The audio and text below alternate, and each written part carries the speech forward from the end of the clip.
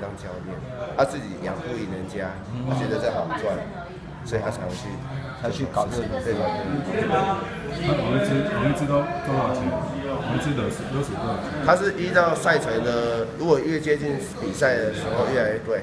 一开始的时候是一万块，还往往接近比赛的时候，他就只会上涨。所以你刚刚有提到，就是他原本是养鸽的，然后之后才才觉得这个好赚，转而去撸鸽子。对，他本身他对歌词他本身的练习啊很了解很了解，对歌词的事情也很了解。对极限了解。那他这样作案大概做了几次？他五次五次。五次而已吗？不是啊，他就是五次，因为我们是牵查他的布置，那本布置有去换的。我们从他布置里面发现说，可能就是他这是